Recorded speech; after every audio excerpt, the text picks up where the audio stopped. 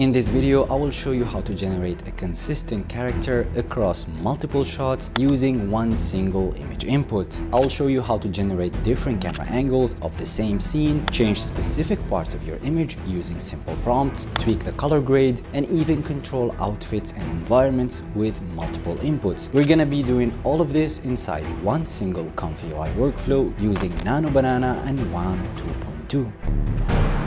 To get started, you need to install ComfyUI on your computer, go to comfyui.org, click on download and choose an option based on your system.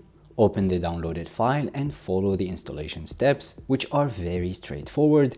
Once installed, ComfyUI will launch automatically. And here you need to load the custom Nano Banana and WAN 2.2 workflow that I built and you can download for free from the description box. Simply drag and drop the workflow file into the interface. When you do that, you will get this missing models message on the screen. That's because the workflow uses certain models that you most likely don't have on your computer. So go ahead and download all the files listed here. You can close the window for now and the models will continue downloading in the background. The workflow also requires some external custom nodes. So if you see this window, make sure you click on install all missing nodes. Once all the nodes are installed, you will need to restart ComfyUI. But before you do that, click here to check on the model's progress. Wait for them to finish downloading and then click on restart.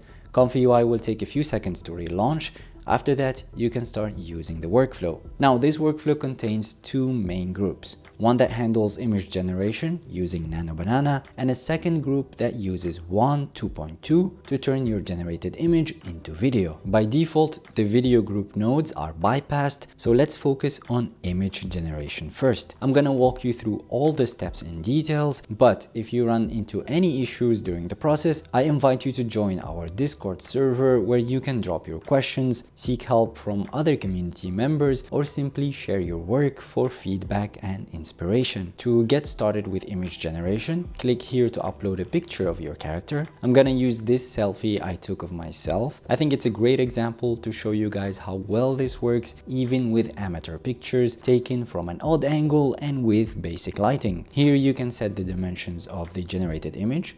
I found that for landscape images, Nano Banana tends to default to 1344 by 768, so I'll just go with that. Other options you can go with are 1024 by 1024 if you want a square output or 768 by 1344 if you want a vertical image. Moving on to the right side of this group, you will find the Nano Banana Gemini node. This is where you can input a prompt and describe the scene you want to generate. For example, I want to generate a scene with myself in leather armor holding a torch. I included specific details about the clothing, scars, as well as a description of the environment. Make sure the model input is set to Gemini 2.5 flash image preview and you can leave the system prompt empty, but I like to use this for additional keywords that guide the overall aesthetic of the scene. I find this to be very useful whenever I want to generate multiple shots and I'm constantly changing the main prompt, but I want to keep all images consistent. Now, because Nano Banana is a closed model that runs on the cloud and not locally on your machine, we need to get a service API key that will give us access to the model every time we make an image generation request. To get your own API key, go to aistudio.google.com on the left side menu, open dashboard, then click on API keys, click on create API key and wait a few seconds for your key to be generated. Click on copy but before you can use the key, you must click on set up billing and follow the steps. Here you will need to confirm some account information and add a payment method. That's because Nano Banana, and I'm sure many of you are aware, is not a free open source model, so you will be charged for every generation. However, I honestly think that with the level of control and quality you get out of it, it's very affordable and worth the price. It costs less than $0.04 to generate one single image. If you want to keep an eye on how much you're spending, go to usage and billing and click on the billing tab. While building this workflow, I ran so many tests and generated a total of 431 images, which in total cost me the equivalent of 14 US dollars. So you can definitely create tons of images while keeping the cost under control. Back to Comfy UI, paste your API key right here and click on OK. And you can now generate your first image. To do that, click on Run. Nano Banana will take a few seconds to process your request and wow, look at that. It's super realistic. It looks like I'm really in a movie. The character looks exactly like me with amazing lighting and composition, all from one selfie and a single prompt. Pretty cool. And it doesn't stop there. We're just scratching the surface here. There's a lot more you can do, but before we get into that, remember that if you don't like what you see, you can always click run again to get a new image. In the save image node, you can find the output path. Every image you generate will be saved in your Comfy UI folder under output Nano Banana. I docked my output folder on the left side of my screen to keep an eye on my generations while using the workflow. This will come in handy in later steps as you will see. Now let's explore what else you can achieve with Nano Banana inside this workflow before moving to the video section. If you look closely at the generation mode node, you will notice three different input options. We've been using the single image input so far, but if you change the index value to 1, the generation mode switches to last image. This option automatically grabs the most recent image from the Nano Banana folder and uses it as input. With this mode, you can apply all kinds of edits to your last generated image. For example, let's say I don't like how the character is looking directly into the camera and I want to change that without altering other parts of the image. In the prompt box, we can say make him look away from the camera and click run. Just like that, we get the same image, but my character is now looking away from the camera. However, I think the head was turned a bit too much. I still want to see more of my face, so you know what? I'm going to delete that last image and change the prompt to make him face forward, eyes looking slightly to the side, not looking at the camera, and hit run Perfect. This is exactly what I had in mind. And as you can see, being specific with your prompts really helps. Besides applying changes to the image, you can also remove certain objects. For example, let's ask Nano Banana to remove the runes from the background, hit run,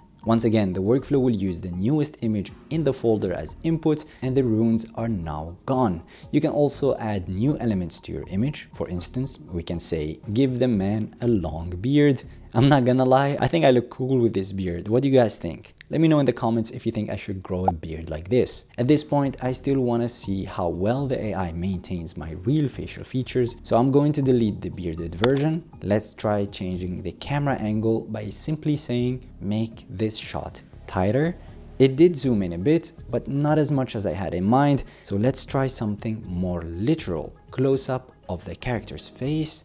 Oh no, that's not even close to what I wanted. I like this framing, but it's definitely not what I asked for. Instead, let's try extreme close-up of the character's face, delete the wide shot, Okay, now I have no idea why this prompt worked while the previous one didn't, but I'm glad it did. This is the exact camera angle I had in mind. Now, we can't talk about character consistency in AI filmmaking without discussing how to generate the same character in different environments while maintaining the same clothes and aesthetic. You can easily do this using the same workflow. Let's change the entire prompt to describe a new scene. I've also specified a different expression in this one one. I actually like the last generated image and don't want to delete it since I might use it later. At the same time, I think the one before it could serve as a better reference for our new scene since it shows more of the clothing. The good thing is that you can simply change the start index here from 0 to 1, which will make the node select the second to last image instead. Let's go ahead and run this and look at that. It's incredible how the AI maintained the exact same outfit, kept my facial features intact, and matched the same scars in precisely the same spots, all while placing the character in a completely different scene. Imagine how seamless your storytelling could be using this process. During testing, I also discovered that Nano Banana can be used to change the color grading of your scene.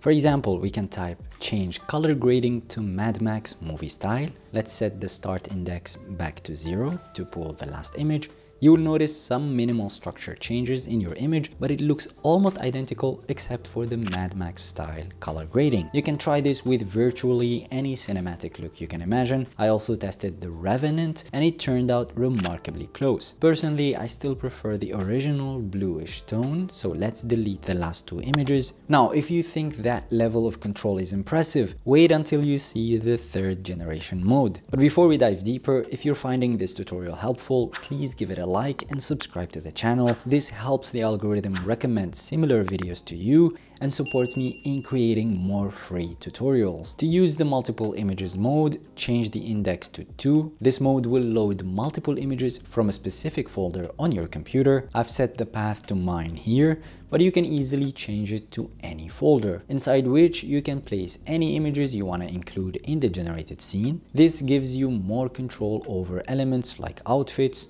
accessories and environments. For example, I added my picture and an image of a suit and an armchair inside an old abandoned building as the location. Now here's an important tip. Set the size of your location image to exactly match your desired output dimensions and name it 0. This will make Nano Banana use it as the first input image and prevent strange cropping issues in the output and I will show you an example of that in just a minute. Now you might be wondering if you can add more images to the input folder. The answer is yes, but I found that the sweet spot is 2 to 3 images. Anything more tends to distort the output. I even set the image load cap cap here to 3 so it will only load the first 3 images. However, I don't discourage you from trying more images since things might change after I post this video. Once again, I've set the output size to the horizontal resolution that Nano Banana defaults to. When writing a prompt for multiple images, be sure to mention every object or character included in your folder.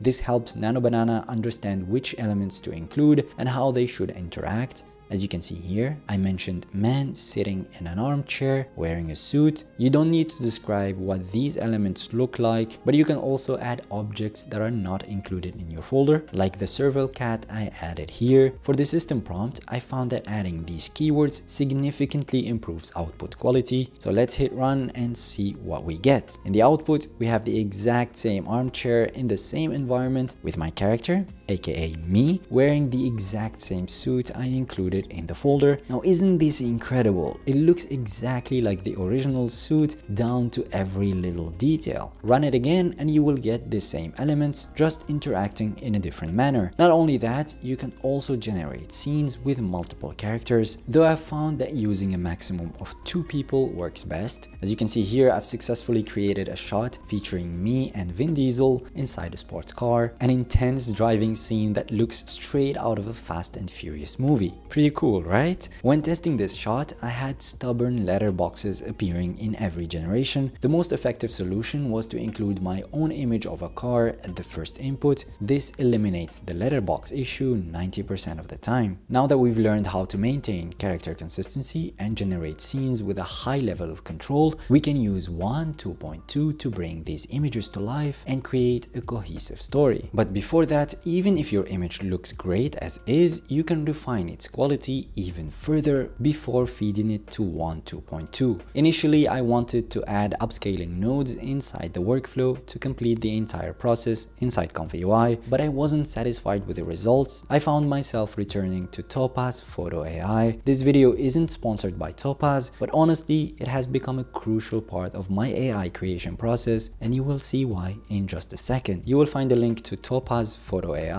in the description box and since it's not a free software, I will also include some alternative upscaling tools. To upscale using Topaz Photo AI, simply drag and drop your image here, disable face recovery to avoid the skin looking too smooth, open the upscale settings and bring the denoise slider all the way down to preserve the natural film grain that Nano Banana generated. Set the upscaling ratio to 2 Looking at the side-by-side -side comparison, you can immediately see why I love this software. It completely eliminated pixelation from my image, the quality looks 10 times better without making the image look over sharpened or unnatural, and you can see significantly more details in the fur coat and fire torch, just beautiful.